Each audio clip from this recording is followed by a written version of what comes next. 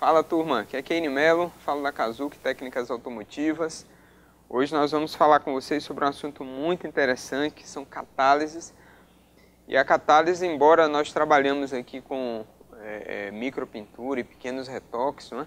mais cedo ou mais tarde você vai se deparar com isso. É necessário você saber manipular verniz, primes, tinta, todos eles, mais cedo ou mais tarde você vai precisar utilizar algum tipo de catálise. É necessário mesmo para esse conhecimento para todos nós. Tá?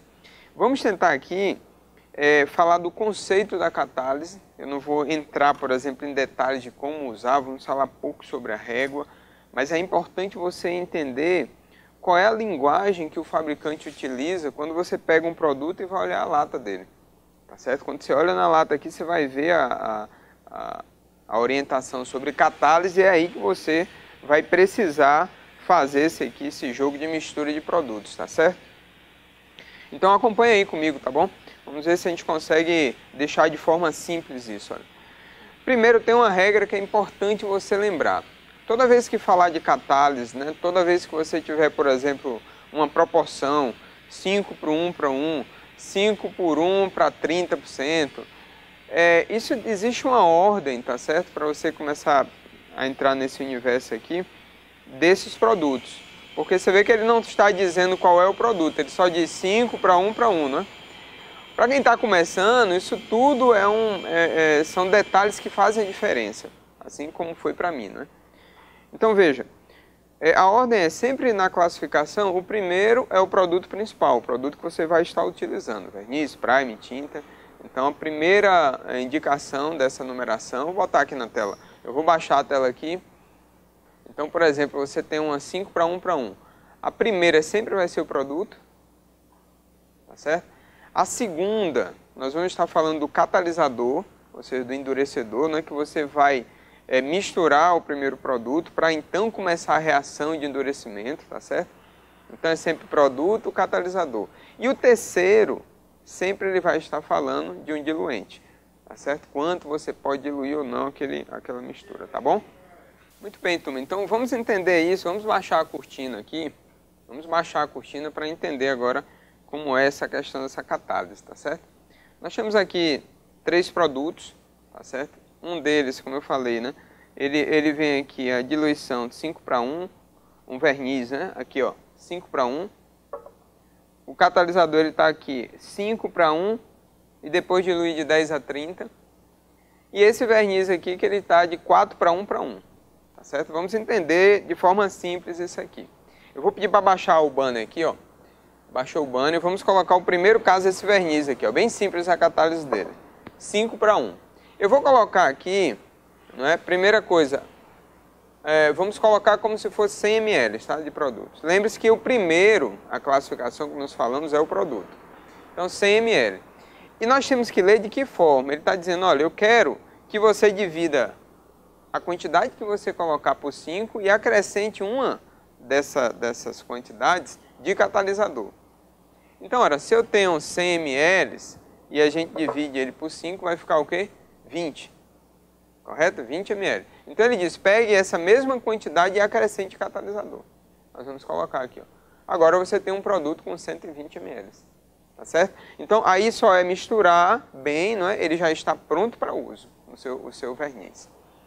Tá, agora eu tenho um catalisador, só, eu tenho um prime. Turma, o prime é duro, ó. ele não é um produto... Então ele precisa realmente de uma certa diluição. Então ele diz aqui, olha, faça é, o processo de catálise depois de lua.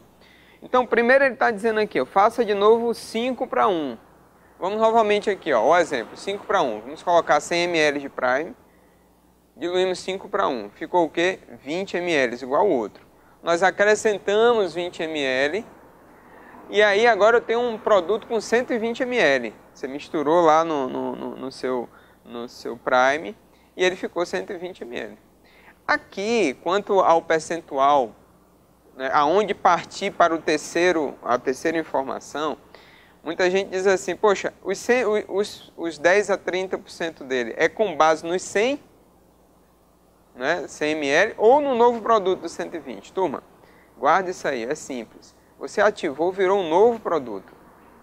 Né? E ele está dizendo o que para você aqui? Ó? Agora, pegue desses 120 ml e aí você pegue de 10 a 30%. O que é que você vai fazer aqui? Vamos fazer para a conta ficar mais simples. Eu quero, eu quero diluir em 10%. Então eu tenho 120 ml, 10% eu tenho 12 ml. Então eu vou pegar, acrescentar mais 12 ml, né, aos 120 nós vamos aí para 132 ml, só isso. E aí você dilui, o produto está pronto. Agora uma outra pergunta, muitas vezes eu recebo assim, mas eu uso 10, 20 ou 30? Turma, isso é você que vai decidir. É por isso que é importante você entender o conceito das coisas e o que você está fazendo. Por exemplo, o, o, Prime ele tem algumas funções. Uma delas é ancoragem. Você precisa da ancoragem dele para colocar tinta, tá certo? Segunda propriedade dele, turma, é nivelamento de superfície. E a terceira propriedade é que o Prime ele permite um acabamento de lixamento bem feito que você pode aí aplicar tinta por cima, tá bom? Então, vamos pensar o seguinte, poxa, se eu tenho uma peça que está é, com a superfície ainda precisando de um bom nivelamento, o que é que você vai fazer? Toma, pegue e é, não dilua tanto, para ele ficar mais grosso. E aí eu tenho essa capacidade de corrigir melhor a superfície. Mas se sua superfície está lisa, né, ela não precisa dessa, dessa característica dele de nivelamento, você pode diluir muito mais, né, chega aos 30% não é? E você não precisa tanto que ele esteja grosso, você vai aplicar e vai buscar mais aquele polimento da superfície, né? Para você então entrar com a tinta, tá bom? Então isso é você que vai decidir de acordo com o serviço que você está fazendo. Agora vamos a um terceiro caso, né? Esse, esse aqui é um verniz. Ele está dizendo aqui que é 4 para 1 para 1. Como é que eu vou fazer essa catálise? Vou botar novamente 100 ml. Agora aqui nós vamos dividir por 4. Então faça a conta aí, 100 ml por 4 nós vamos ter 25 ml, não é isso? E aí você vai para um novo produto agora, eu tenho um produto com 125 ml. Aí você vai misturar e ativar esse produto.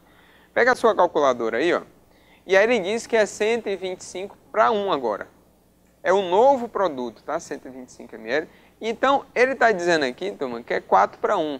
Então, 4 para 1, eu pego 125, divido ele por 4, ele vai dar aqui 31,3, tá certo? E aí o que é que você vai fazer? Soma ele aos 125 que você já tem. Você tem agora um produto com 156,3 ml. Tá certo? E nesse caso aqui, o fabricante está dizendo que a melhor performance do produto é com essa diluição.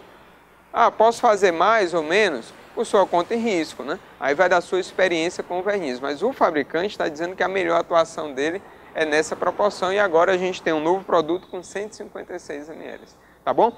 Então, vamos fazer o seguinte agora, vamos fazer aqui na balança, acompanha aí, vamos fazer uma proporção bem simples aqui, vamos fazer 5 para 1 para 10%, tá?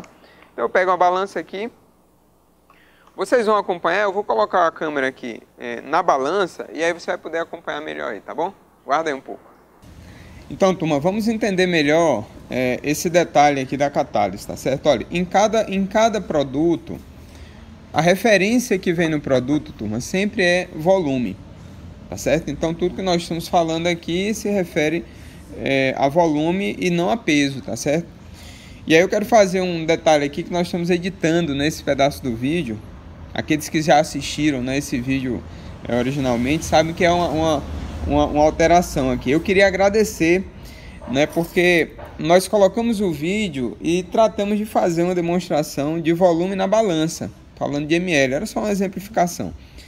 Mas na verdade acabou ficando um pouco confuso né, o conceito, e aí nós queremos corrigir, porque nós tivemos aqui é, duas, duas colaboradores aqui do grupo, que eu achei muito legal a atitude, entraram no nosso direct né, pelo, pelo Instagram e disseram, pô, o conceito tá um pouco.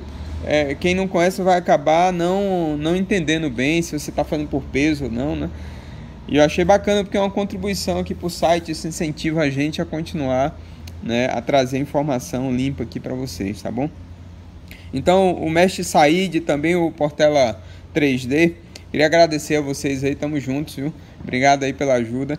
E aí vamos lá, vamos então incluir nessa, nessa explicação também a pesagem, tá bom, turma? Que isso é uma coisa bacana. Então tá bom, vamos lá. É, como eu vinha, falar, é, vinha falando aqui, turma, tudo que tem na lata se refere a volume. E no caso de volume, nós podemos usar para esse conceito que eu acabei de explicar, tanto a régua de graduação como a régua universal, como a gente também pode usar o copo graduado. Então, qualquer um deles tem a mesma referência. Só que, veja, na régua, como é bacana a régua. Primeiro você escolhe a sua catálise aqui em cima. 4 para 1, 5 para 1, 2 para 1, 3 para 1. Vamos exemplificar. Imagine que você esteja aqui com 4 para 1. Então, na hora que você colocar, você vai pegar a régua e colocar dentro do recipiente, não é? E aí você vai se orientar por essa escadinha, olha, que tem na lateral aqui. Lembra-se que eu falei, né? O primeiro sempre é o produto, e aí você determina o volume do produto que você quer. Parou na primeira escala. E aí eu venho com o segundo, que é o catalisador endurecedor, não é? Aí eu completo mais um pouco até chegar na segunda. Ele já está na referência de 4 para 1 aqui. E aí a terceira, dá para você ver aí, olha, tem uma, um, um, uma parte pintada que vai até 30%, é uma escala de 10, 20, 30%, que você vai decidir quanto que você vai colocar aqui no caso do diluente, tá certo? Mas é fácil porque é só chegar com o próximo produto até a linha da escala, né, da escadinha aqui, tá resolvido, tá bom? Então é fácil utilizar, turma. Se você não tem né, e puder adquirir uma, vai ajudar muito a você. Mas caso você não tenha, poxa, pode usar também uma régua universal, não é? Então você colocou aqui, ó. Vamos dar um exemplo para ficar fácil a conta. Você foi lá, deu 10, segue o mesmo princípio do CML, né? Divide por 4 se for uma catálise de 4 para 1, divide por 5 se for 5 para 1, e aí você pega essa parte da divisão e acrescenta com o próximo produto. Mistura, ativa ele e depois você vem para fazer a diluição de acordo com o que você decidir, tá certo? De acordo, lógico, com a recomendação aqui do fabricante. Então a régua, turma, ajuda muito, a régua universal também. E se você conseguir, olha, tem vários copos de catálise, né? Copos de plástico, buretas de vidro, você pode utilizar ela para usar a catálise seguindo essa regra que a gente acabou de mostrar aqui. Tá bom? Uma outra opção seria a gente utilizar, no caso aqui, o peso. Só que, é, para vocês entenderem por que, que a gente precisou alterar, é, 100 ml de cada produto não quer dizer que o peso seja igual. Né? Porque, por exemplo, um Prime pesa muito mais que o verniz e assim por diante. Vou dar um exemplo aqui para você. Eu vou colocar na balança aqui, olha aí, ó, 100 ml de Prime. Deu um peso de 110, tá vendo? Gramas. Se eu colocar aqui, olha, o catalisador, 100 ml de catalisador, só deu 69 gramas. 100 ml de verniz, olha, vou colocar aqui, ó. 70 gramas. Se eu colocar 100 ml agora de diluente, 60. O diluente não é, e o, o catalisador e o verniz são, são muito mais próximos. Né? No nosso caso aqui, quando, quando a gente trabalha com micropintura, às vezes a quantidade é tão pouca de verniz né, que é, essa diferença não vai a, a afetar o produto. E às vezes a gente chega a fazer catálise com conta-grotas, né? então 5 para 1, 5 gotinhas de um com um do outro para resolver. Mas o importante é você saber que para esse tipo de catálise é bom utilizar não é, a tabela que já está é, é, pré-registrada pelo fabricante. Você não é tão fácil conseguir, mas você pode pedir a ficha técnica do produto no site ou de repente no fornecedor da sua região, tá certo? Eu vou dar um exemplo para vocês colocando aqui uma tabelinha da PPG, tá certo? Vou colocar aqui do lado. A PPG, vamos olhar aqui, por exemplo, a tabela de pesagem para 100 ml. Olha aí do lado. Então, veja o que é que ele está dizendo aí. Para 100 ml né, desse, desse Prime, ele está dizendo aí, ó, coloque 105 gramas né, do Prime, depois coloque 14 gramas, 3 do, do catalisador e depois 12 gramas, 4 do diluente. Então, quer dizer, veja que o diluente, o diluente né, o catalisador estão muito próximos. Né? Agora, o Prime realmente faz diferença. Então, seria basicamente isso. Né? Se você pegar o produto, olha, você vai fazer o quê? Você vai colocar ele até chegar nos 100, ó. Deixa eu só dar. Vamos fazer uma tara aqui. Peraí. 105, né? Opa, fiz de novo errado, peraí. Colocou aqui o copo, ó. Dá a tara, zera.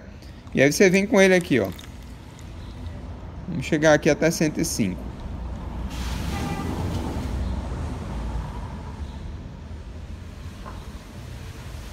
Opa. Então você chegou em 105, já tem o produto, né? É, é, necessário para a primeira parte aqui. Então você vem aqui na, na, na balança, ó, zero a tara novamente, tá vendo? E aí você vai aplicar o quê? 14,3 do outro produto. Deixa eu ver se ainda tem um pouco mais de água aqui. Agora eu vou entrar com o catalisador, né? Ou endurecedor. E vou colocar 14,3. Você vem aqui, ó. Muda o produto, ó. Fazendo com água só como exemplo, tá, turma?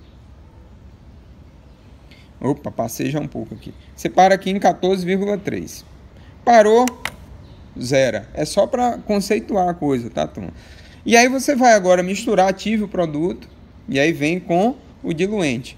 Aqui para o CML ele está recomendando 12. Ó. Aí você vem aqui, ó. Isso aliviou a mão aqui, né?